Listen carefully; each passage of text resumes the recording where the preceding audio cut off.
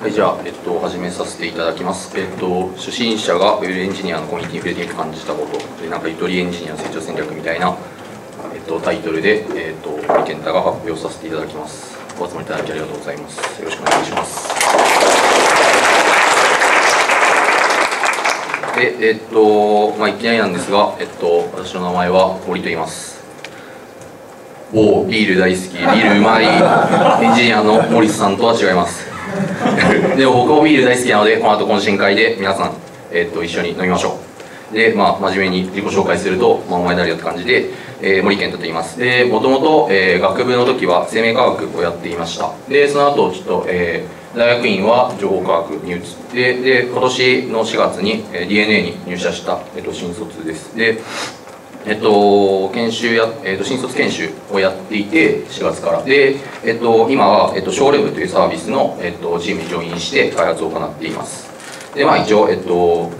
業務ではファールも使っているので、まあ、ファールもが見らないっていうのとあとは最近ちょっと自分の興味で Go とかもやっていて、まあ、ウェイオファーです。で、えー、ゾン公演というアカウントで Twitter などやってます。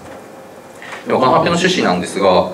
もちろタイトルもなんか意味わかんない感じで自分も何が喋りたいのかスライドを作ってるうちによくわからない感じになったんですけど、まあ、一応趣旨としてはこう自分が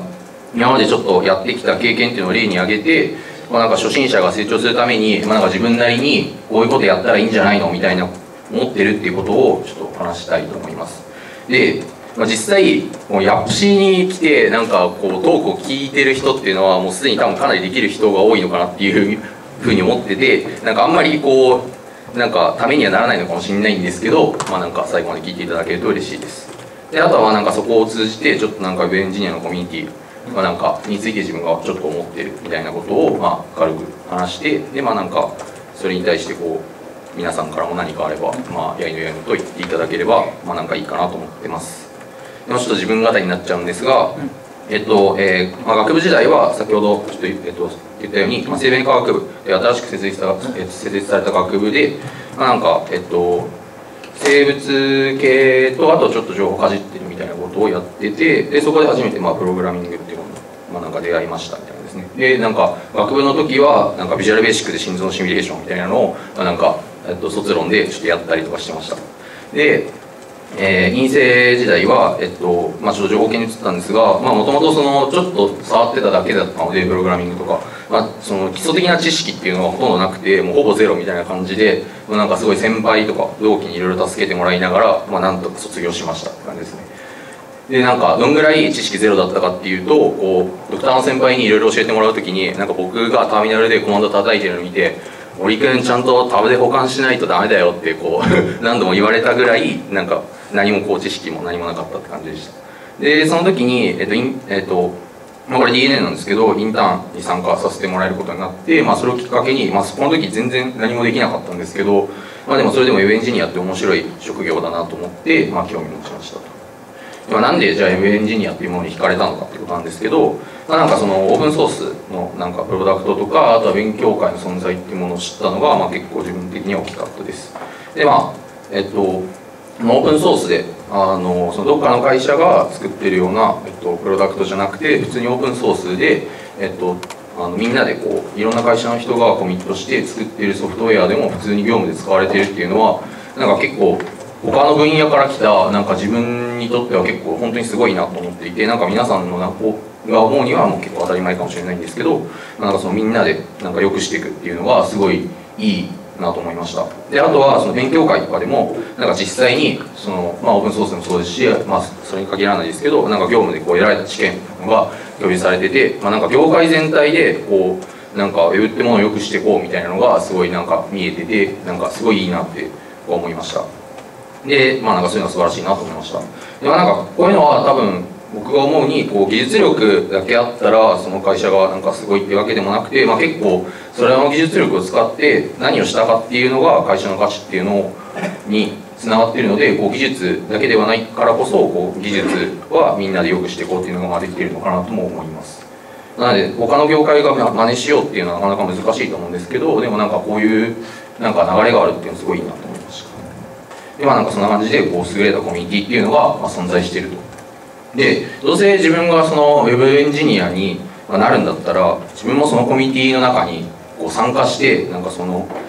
いいサイクルみたいなのを回すみたいに自分も入りたいなと思いました。でまあじゃあそのために何したらいいんだみたいな感じで自分なりに考えてまあいろいろやってきた。やってきましたって感じですね。で、まあ、何やってきたのって感じなんですけど、まあ、いきなりツイッターなんですけど なんかこう別にこう追廃になれとかいう話ではなくて、まあ、最初はこう正直何やっていいか分かんないんですよね。なんかそのどういう技術が使われてるかとかも分からないし何をしたらいいのか分からないみたいな感じになった時になんか僕がやったこととしてはとりあえずなんか面白そうだなって思った興味のある分野でなんか有名な人を片っ端からフォローしたんですよ。でなんかフォローしてるとその人たちがやり取りしてるのを見ることによって、まあ、なんかそういうこう第一線でなんかやってるなんか優秀な人たちがなんか今どんなことに興味があるとかどんなこう問題を抱えてそれを解決するためにこんなことやってますとかっていうのが、ま、なんとなくやっぱあの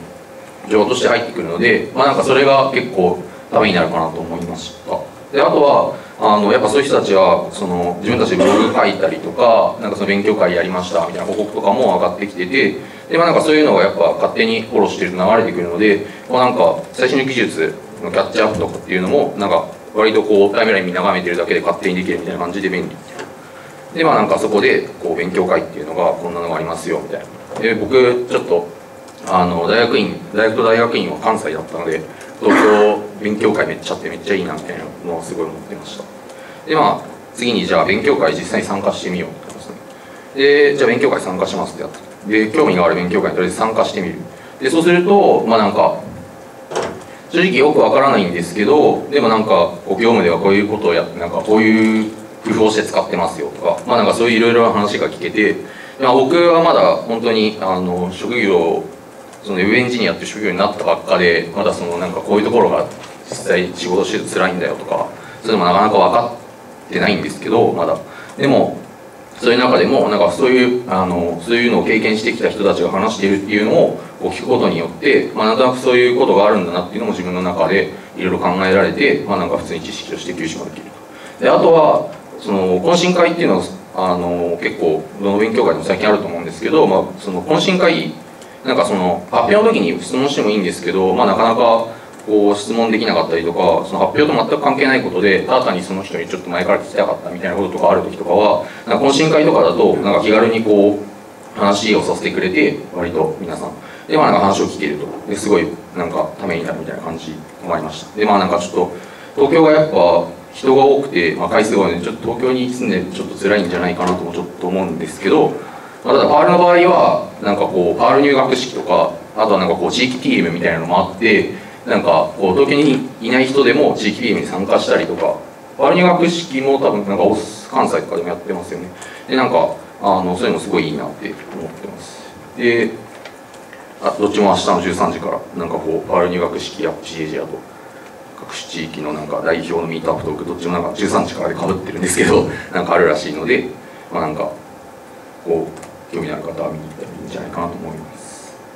でまあファールはこういうのがまああると。であとはまあそれで、えっと、勉強会に参加したらじゃあ今度ブログ書きましょうみたいになってでまあなんか技術ブログとりあえずなんかこう自分でハマったもうなんかものすごくしょうもないこととかでもいいしあとはなんかこのソフトウェア便利だなって思ったこととかまあなんか何でもいいしなんか誰が誰も見てなくてもとりあえず書いてみようと思ってまあ書き始めました。まあ、これもなんか結構いいなと思っててこれ書いておくとなんか最初は結構やっぱそのそうそう誰も見ないんですけどなんかこう勉強会に参加してなんかこうちょっと自分のこと覚えてもらったりとかってしてるとなんかブログの記事書いた時とかになんかそれをなんか見てくれてなんか例えば間違ってたら指摘してくださったりとかあとはなんかそういう場合はこういうふうにしたらいいよみたいなアドバイスとかもらえることがあったりとかするのでまあなんかそのどうでもいいこととだなって自分で思っても結構書くのがいいのかなと思ってます。でなんかこう今ならなんかそのいろいろこう間違いを指摘されてボコボコにやられてもなんかこう初心者だからしょうがないよねって立ち直れる気がするのでなんか早めにやってたらいいのかなって思います。であとはまあなんかその勉強会参加したんで参加しましたみたいなとかもまあなんかこう上げていったりとかしておいてます。であとはなんかエンジニアの人みんな寿司好きなので寿司のこととかも書いてもいいんじゃないかな。なんかこういいここ安くてうまいっすみたいな詩の話とかも書いてもいいんじゃないかなと思います。でえー、っと次はあれですね GitHub で、まあ、なんかオープンソースで何か作ろうみたいな話です。でえっ、とまあなんか何か作るっていうのが最初はやっぱり自分としては結構難しくてそもそも何作っていいか分かんないし作りたいものが仮にあったとしてもなかなか技術が追いつかないみたいなのがあってなんか難しいなと思ったんですけど、まあ、なんか最初は自分がその使っててなんかちょっとこう挙動がおかしいなとかなんかそういうのを思った時にそのプロダクトを作ってる人のところになんかプルリクエストを送ることから始めるのがいいのかなと思っていてでまあなんかそういう簡単なことでもなんか結構普通にあのちゃんと取り込んでくれるのでまあなんかドキュメントを例えばタイポッテだとかでもいいからとりあえず送ろうかなと思って送るようにしてました。でもなんか普通にマージされるとやっぱ最初とかだとやっぱ普通に嬉しいんですよね。なんかマージされたみたいな。自分の書いてるコードがこう普段自分の使ってるものの中に入るようになったみたいな。普通に嬉しいモチベーションになるみたいな。であとはやっぱそうやってえっと、実際にその自分が使ってるもののコードを読んだりとかして、まあ、なんかやっぱ優秀な人が書くコードっていうのはなんか大概読みやすいしなんかこう綺麗な書き方になってるのかなと思っていて、まあ、なんかそういうのを読むの勉強になるかなと思っていてでまあなんか GitHub はそういうことが簡単にできて、まあ、プルリクエストとかっていうなんかそういう仕組みもあってすごい GitHub が便利だなと思ってまあなんか多分こう今までいろいろバージョン管理システムがありましたみたいなこうなんか話とかあると思うんですけど僕はゆとりでこう初心者なのでもう Git しか分かりませんって感じで、まあ、なんか GitHub すごい便利ですねって感じです。であとはえっとじゃあ勉強会行くのはいいんだけどもうなんかどうせならこう発表する側に回ろうみたいな感じで勉強会とか発表みたいな感じででまあ何でもいいからとりあえず発表してみようって、まあ、なんか何個か発表したりさせてもらったりとかもしました。でまあなんかやっぱ最初は初心者向けの勉強会とかでやるのもいいのかなと思います。で、まあ、まさに今僕がここで今発表してるこのヤプシーの発表も、まあ、このとこうなんか挑戦でいくかみたいな感じですね。でまあなんかこんな感じでこう実際こうどれだけ人のためになるかわからないんですけど、まあ、なんか自分が思っていることとかあとはなんかこう、まあ、自分の作ったものとかなんか発表してみるっていうのはなんかすごい自分のためになるかなと思います。でなんかそこでまたフィードバックもらえたらなんかその後またまいろいろとこう自分の成長につながるのかなと思います。まあなんかここまでいろいろ5個ぐらい挙げたんですけど、まあ、なんか結果としてはえっとまあなんかそのえっとそもそもその情報がなんかえっと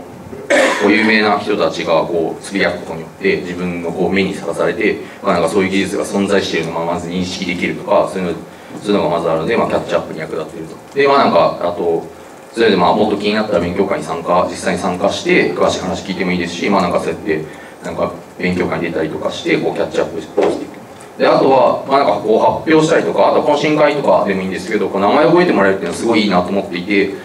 でこうコミュニケーションコスト低下って書いてるんですけど具体的にどういうことかっていうと、なんかやっぱあのこう知らない人に、まあ、僕とかもそんなに得意じゃないんですけどなんかこう知らない人にいきなり喋りかけるみたいなのって結構ハードル高いと思うんですよね。でしかもなんか初心者だとなんかこんなしょうもない質問していいのかなとかって尻込みしちゃう時とかもあったりあると思うんですよね。でなんかそういう時にこうなんか一応こう自分の名前を覚えてもらってて向こうはなんかこいつは初心者なんだみたいなあんまよく分かってないこうけどこう頑張ろうとしてるみたいなのを認識されてるとこうなんか優しく教えてもらえたりとかしてなんかこう自分からも話しかけやすいしなんかこう相手もなんかこう初心者に分かるように説明してくれたりとかしてなんかそういうこうコミュニケーションがしやすくなるかなと思います。であの実際にこう名前を覚えてもらってまあなんかいろいろこういい機会に恵まれたこともあってまあなんかあのこう勉強会を通して、まあ、なんかその会社の先輩とかにも名前を覚えてもらったりとかしてでなんかその社内でやってる勉強会に参加させてもらえるようになったりだとかあとは前田はちょっと勉強会で発表しないって誘っていただいて、まあ、なんか発表する機会をもらえたとかいうのもあって、まあ、なんかそうやってこう名前を覚えてもらうっていうのは結構大事かなと思っててなんかその名前を覚えてもらうことによって、まあ、なんかそういういいサイクル回せるようになるんじゃないかなと思ってるので、まあ、なんかこういうのはすごいえーと、いい結果につながってるんじゃないかなと今思ってます。で、まあ、あとはそもそも楽しいですね。なんかやっぱいろんな人にこうなんかいろんな話を聞いてまあなんか僕とかは知らないことだらけなので何を聞いてもこう自分の中で新しいことでまあなんか普通にすごいなって思ったりとか楽しそうだと思ったりするのでまあなんかそもそもそういうのが楽しい。まあなんかこうやってそのコミュニティとかえっ、とまああとはそのすでにできるなんか優秀な先輩とかでもいいですけどまあなんかちょっと言い方はどうかわかんないですけど、まあ、使えるものは使っていこうって感じでその GitHub とか Twitter とかそういうツールもそうですしなんかコミュニティ自体とかそういうのは全部使使えるものはなんか初心者なんで、まあ、なんかこう全部使いましょうって思います。でなんでそういうのが大事なのかなって思うかっていう話なんですけど、まあ、なんか一時期こう市の高速道路みたいな話もなんかどっかであった気がしたんですがなんかもともと将棋の棋士のなんか羽生さんか大学かなんか高速道路運動みたいなことを言ったみたいな。なんか僕はあんまり知らないんですけど。なんかこれの言葉でなんか話題になってた話としてはなんかこう高速道路なんか最近はこう一定のレベルまでなんかこうなんか知識とかその能力をつけるためのなんか高速道路が整備されててみんなそれに乗ればある程度の能力が得られるんだけどなんかその先なんかこうそのまま乗ってるとなんかなんかどこかで渋滞が起きててみんなそこでなんか飲み悩んでるみたいな感じになってそこから抜け出すのがすごい大変みたいな。なんか確か話だったと思うんですね。でもなんかだからってその高速道路を使わないのはすごいもったいないなと僕は思っていて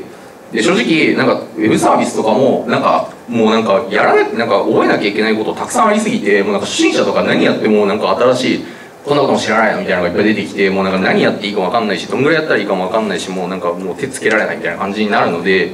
それだったらせっかく高速道路があるんだったらもうなんかそこに乗ってその一定レベルまでそこそこでなんかこう吸収できるんだったらそこ乗っちゃって吸収したらいいんじゃないかなって僕は思います。でなんかその一人で粛々と学んでいくっていうのはすごい難しいので、まあ、なんか勉強会でなんか同じぐらいレベルの人となんか頑張りましょうって言ってもいいですし、なんかそういう仲間を見つけるみたいなのもいいですし、まあ、あとはその先人の知恵をお借りするとか、まあ、なんか直接も助けてもらうみたいなのはすごい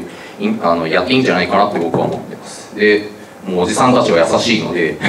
なんかこういろいろ聞いたら全部教えてくれるし気にかけてくれるのでなんか普通にありがたくその声を受け取ってなんか頑張りましょうっていう感じですね。ではなんか自分があと思うこととしてはなんか自分の中で目標となるエンジニアみたいなのを見つけるのがいいのかなと思っていてなんかえっとこ